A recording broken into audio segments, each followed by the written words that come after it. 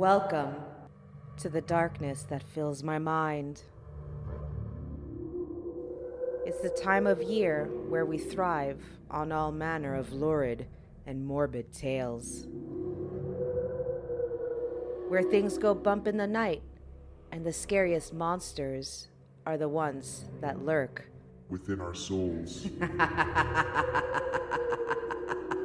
October is here.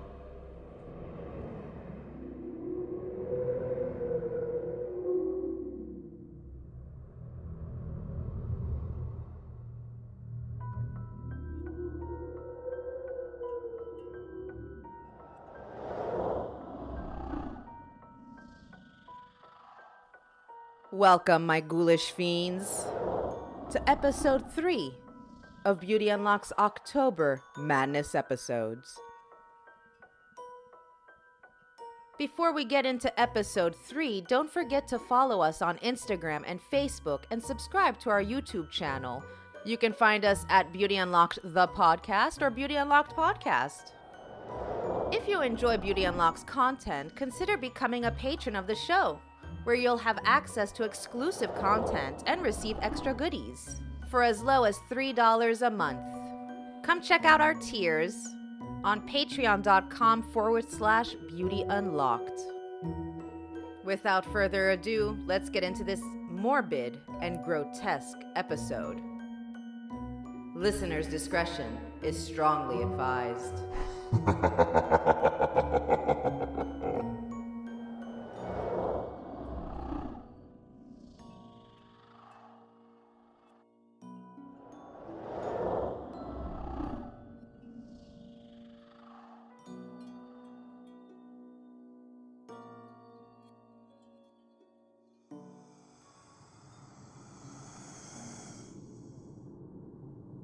Tell, O Sicily and ye, the many islands of the sea, the judgments of God. Confess, O Genoa, what thou hast done, since we of Genoa and Venice are compelled to make God's chastisement manifest. Alas, our ships enter the port, but of a thousand sailors, hardly ten are spared. We reach our homes, our kindred and our neighbors come from all parts to visit us. Woe to us, for we cast at them the darts of death. Whilst we spoke to them, whilst they embraced us and kissed us, we scattered the poison from our lips. Going back to their homes, they in turn soon infected their whole families, who in three days succumbed and were buried in one common grave.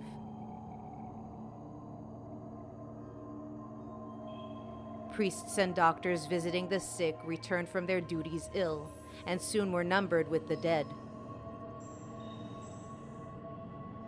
O death, cruel, bitter, impious death! Which thus breaks the bonds of affection and divides father and mother, brother and sister, son and wife.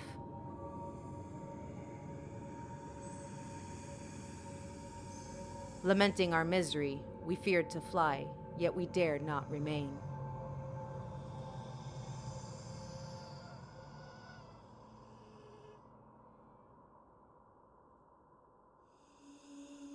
Just read to you Historia de Morbo sive mortalitate que fuit de 1348, an account written by Gabriele de Mussi, who was a notary from Piacenza. So Historia de Morbo chronicles the plague in Kaffa, which was a trading city in Crimea, and Sicily. So Gabriele says that the Mongols besieged the trading city of Kaffa in Crimea between 1346 and 1349, which they did.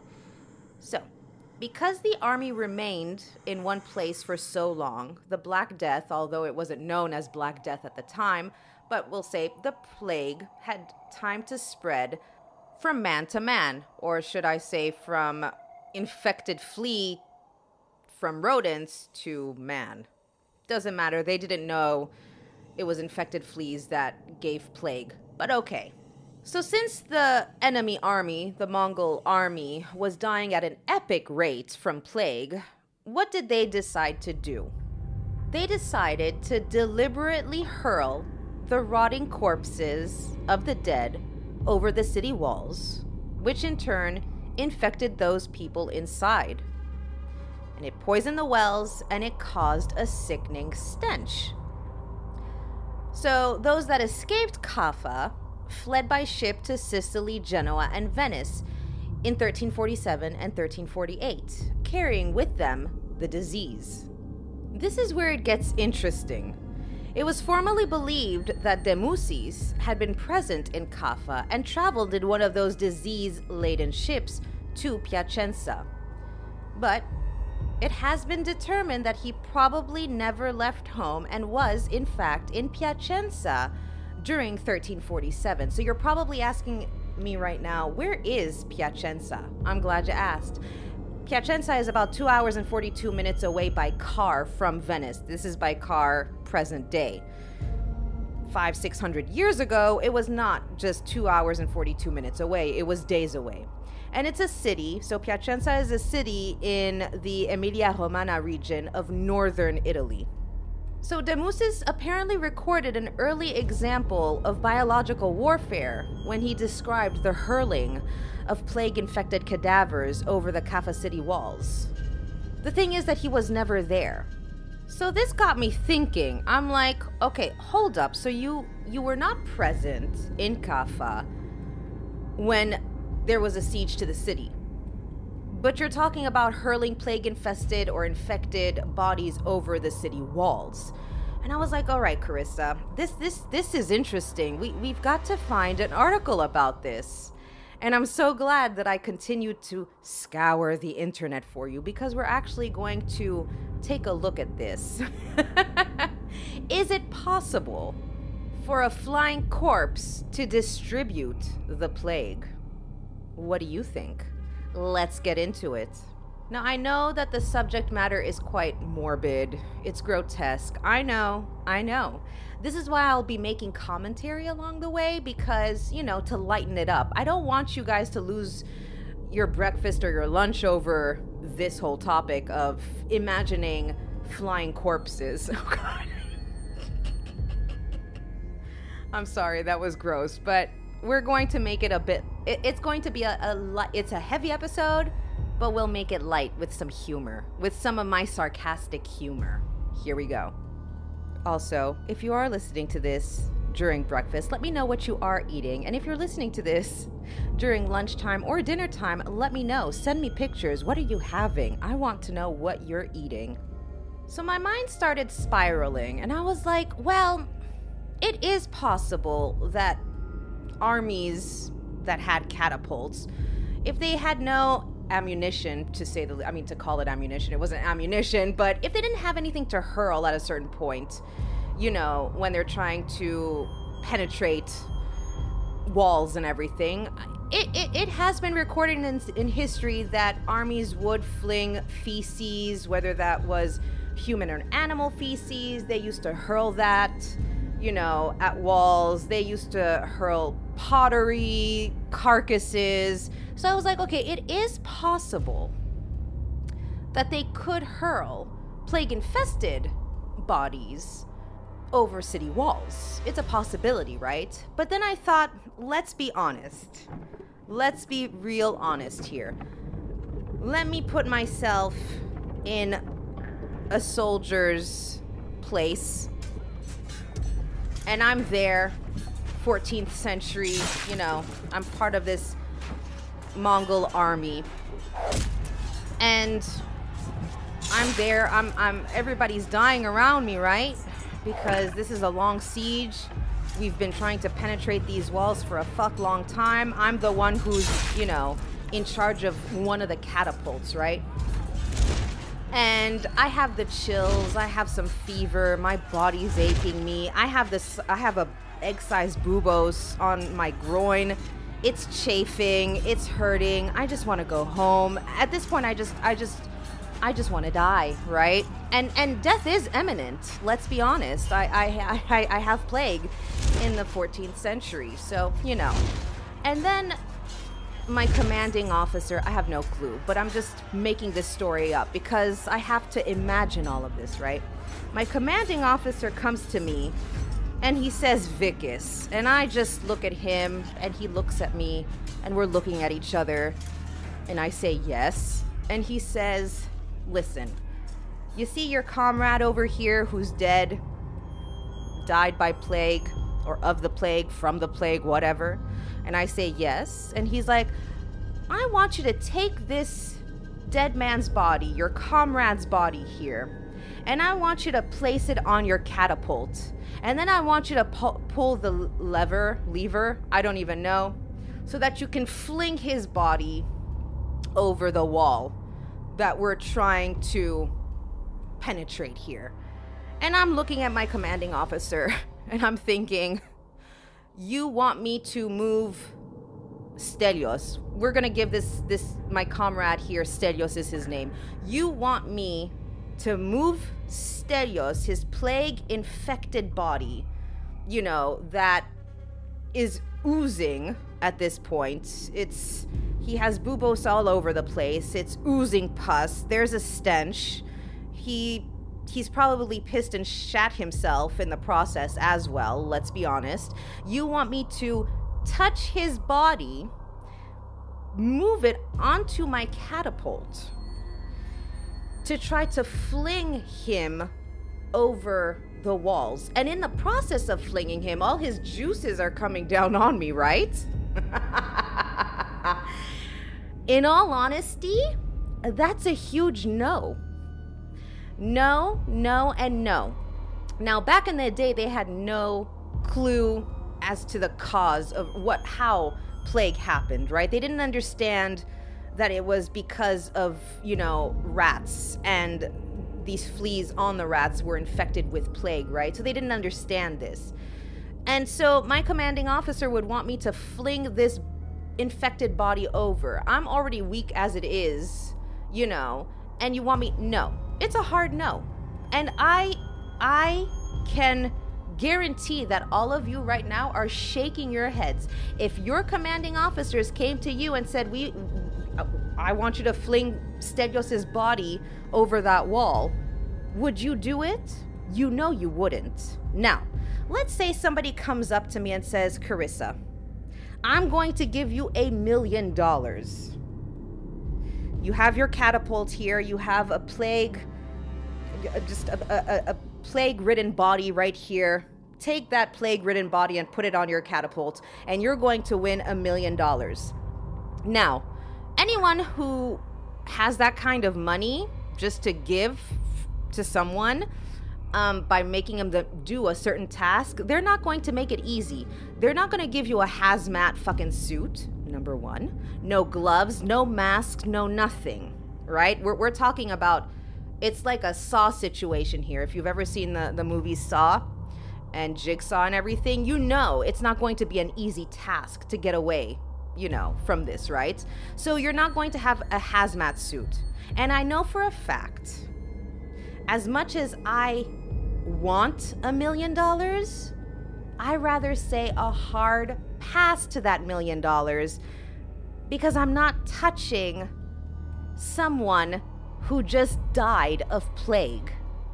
So even five, six hundred years ago, if my commanding officer said, If you don't do it, I will punish you, I'm going to look at him and say, Excuse me, sir, I have plague, I'm going to die. Yannis, this other comrade right next to me, is going to die. Stelios is dead. We're all dying. You can you can flog me, you can whip me as much as you want. I am not fucking touching Stelios is dead plague ridden body over here. Alright? And I know that none of you would do it too. As you can tell, I have a very vivid imagination. But then as I scoured the internet, I came across this article. And I was like, "Oh my goodness. this is this is an article right here." So I've already set the scene in your imagination, right? This article that I came across was an article on montana.edu and it was written by Matthew J. Broughton, and it's called Catapulted Death Can a Flying Corpse Distribute the Plague? seriously, when I when I fell on this article, I felt like there was the voice of God and the angels were singing and were li- they were like this is the article for you and I'm like thank you so much. So Matthew starts his article by saying in the 1340s plague came to the Black Sea. In typical human fashion, blame was assigned to a convenient target foreigners. Now, not much has changed since, right? The Genoese had an established counting house and trading port that processed the goods moving westward to the Mediterranean. There had long been a tense truce between the Genoese Christians and the local Mongols. As tensions rose, a fight broke out in a nearby town, and someone died in the tussle. The order was given to oust the Genoese. They were chased back to their stronghold at Kaffa and besieged by the Mongols. The Genoese had the sea to their backs, and the locals had no navy, so the siege failed and the encamped army dispersed. Two years later, the siege was renewed, and that is when things got ugly. Matthew, I love the way you write. So, the Mongol troops living in the squalor of their makeshift encampment began to die in startling proportions of a resurgence of the plague. The army began to lose its resolve yet again. It was thought that the Genoese were safe and healthy in their stronghold, partly due to their religious beliefs, and the dying army was bitter for this. They wanted the enemy to see how horrible a fate had befallen them and hoped to transmit death inside the walls. All right, so before I continue with Matthew's article here, logically, if there is plague outside the city walls, chances are there is plague within the city walls. Because, as we mentioned, it's rodents that carry these infected fleas, right? So, if there's plague outside, there's plague inside. On with the article. Limited historical evidence suggests that the army used catapults to hurl their dead over the walls of the city upon the besieged residents, and this directly led to the spread of infection and the successful ousting of the Genoese. Fleeing Genoese who were able to leave by sea took the plague with them back to Italy. It is also proposed that this was the start of the Black Death of 1347 to 1350 in Europe. Could this have happened? Did the corpse missile work? Was this the start of germ biowarfare and the primary cause of the Black Death? I couldn't. I had. I'm sorry. I had to do it that way. So sorry. when you're recording alone for so many hours, trust me, you get a little bit inside your head and you're just like, let's get a little bit kooky here. Let's let's read it like this. All right, back to the article. Several questions need to be addressed if this theory of how plague moved from the Black Sea to Italy is deemed credible. The first aspect of this question removes the importance of the rest of the argument. Were the Genoese healthy at the time of the plague outbreak around Kaffa? Even though the Genoese were holed up in their walled city, the rats most likely had free issue to come and go over and under the walls at night, or heck, even during the day. That's me putting that in. Catapults or not, if the plague was in the camps outside the walls, like I said, it was inside the walls as well. So the thoughts of the besieging army that those inside the walls were, well, wrong. When the siege began anew the second time, which probably coincided with the onset of the area plague, Genoese residents fled back to Italy by ship. All ships with food cargo had pests, and the likelihood that these cargo rats brought the plague to the ports of Italy seems high. Trade ships traveled the area all the time. If plague was in the shipping routes, it was destined for distribution by the commerce of trade, regardless of the events at Kaffa. Next, we come to the issue of who was going to hurl the bodies. Certainly not me, that's for sure. In medieval times, artillerymen were contractors. They were not slaves or conscripts, but valued employees. It was believed in that time that the disease was transmitted through the air around the dead and dying.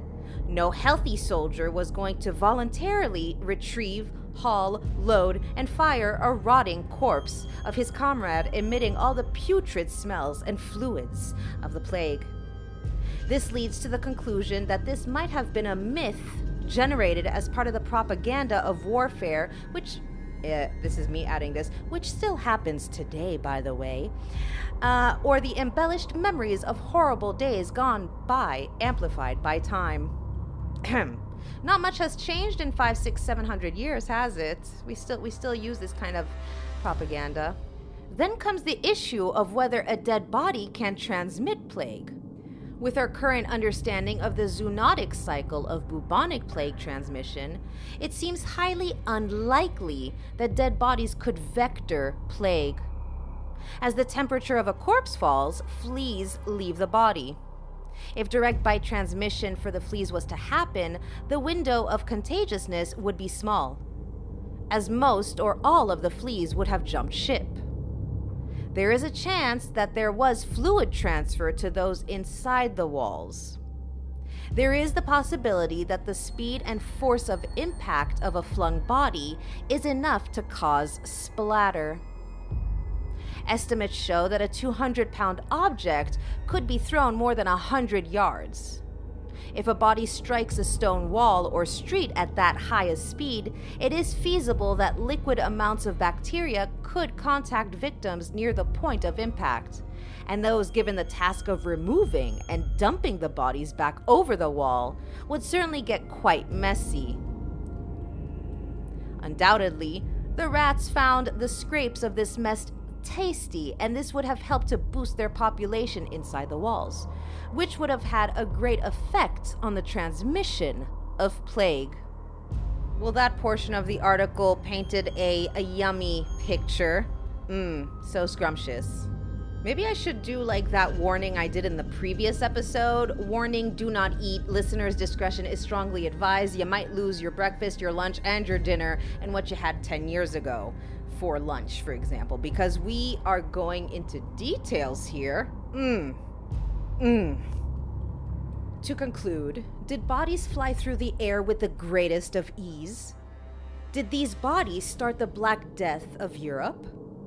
It seems unlikely that this is how things happened. Rats would have moved freely through the walled city of Kaffa, and the fleeing people probably took those rats with them in their ship's cargo. This most likely is how the plague came to the Genoese and to Italy, and ultimately the rest of Europe. So we have come to the end of Matthew's article, and the reason why I actually wanted to do this is because when I was researching all things plague related, I came through the same story. You know, that the army was flinging bodies over, you know, the city walls. And I'm like, I, I read this in scientific journals. I read it in two, three other places, and I was like, this, this is just a bit much, you know. And I was like, is it possible? Is it a possibility? Absolutely, it is. We weren't there six, seven hundred years ago, so we have no clue. But in all honesty, I'm going with Matthew here, thinking that no healthy soldier would have actually touched a putrid, rotting body of someone who just died of plague. Like, there's no way that they would want to take the risk. It's enough that all their comrades are dying around them. So it's highly, highly, I'm, I'm agreeing here with Matthew, it's highly unlikely that a healthy soldier would want to touch a body that's just passed, you know, from plague. Um, so yeah, so I will actually add the article, this Matthews article, onto the show notes. But I'll also put in the other articles where I did find, you know, this rhetoric of they flung bodies over the city walls because it was it was I found it a lot. And of course, the thing is that they're using the contemporary account of Gabriele de Mussi, who was not even there. So there you go. It goes to show you you have to you can't just read one article and go by that one article. You have to read at least 10 to 15 articles, you know, to make sure that what you're actually reading is credible, first of all. Whew. With all that being said, I do hope you enjoyed episode 3. I'll try to make sure that the next episode isn't as morbid. I mean, when we talk about the plague, it is morbid, grotesque. It's it's I mean, it's the plague after all. But I'll try to not make it as gross as this episode.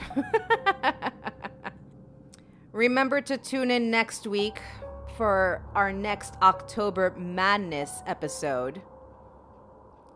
I'm Carissa Vickus, and I wish you all a very safe weekend.